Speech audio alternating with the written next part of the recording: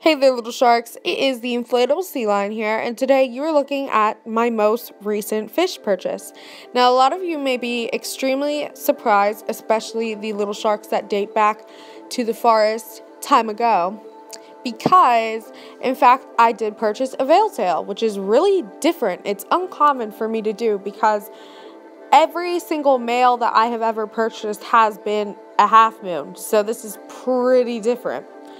Now, first, I'm going to talk about how and where I got this guy, and then I'm going to transition to what's happening now and his like health conditions and everything like that. We're going to cover everything in this video. So, I was traveling and I actually got this guy at Pet Valu. I cringe a little bit when I say that because Pet Valu, at least the ones in my area, really don't take good care of any of their fish and they don't carry any tanks over the size of a gallon. So that really hurts my heart a little bit. So, you know, like I said earlier, I was traveling, so this one was not in my local area, and I actually did take okay care of them. So this guy looks extremely healthy. He is extremely healthy.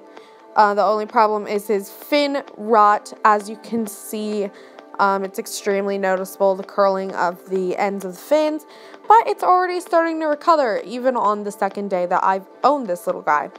So, back to Pet Valu. He was only $4.30, and I've had this recent obsession with veil tails, so I sort of needed one in my life.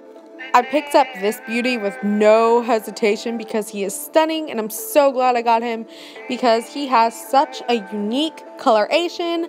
I know I've never came across an orange betta before, but they do exist everywhere, I guess, but I just haven't seen one and I automatically fell in love with this guy. I have decided on the name Cadmus just because it reminds me of the sun. I think the literal translation is prince or something like that. I do love Greek names, they are my thing. So, Cadmus, the founder of Thebes. Now, I named him Cadmus mostly because, like I said, it reminds me of the sun, but I named him that because it's weird. You know the stone in the tank that he's currently in? It has a serpent on it, like a snake, whatever. That's pretty weird because I I'm pretty sure, don't take me 100% on this, but I do think that Cadmus was turned into a serpent later and I was like, "Hmm, that's odd." So, that is his name. He has so much fin rot. It's recovering already, and you cannot see it in this lighting. Um, I'll insert a clip of him in the tank, but those spots on him, like the spots, and he has like stripes on his fins that are like an iridescent blue color.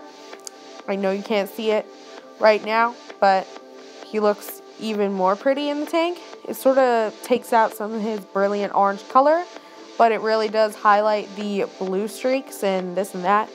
So this guy's awesome. Thanks for watching. If you're not part of the Shark Pool already, make sure you join us by clicking subscribe, smash that like button, and see you little sharks.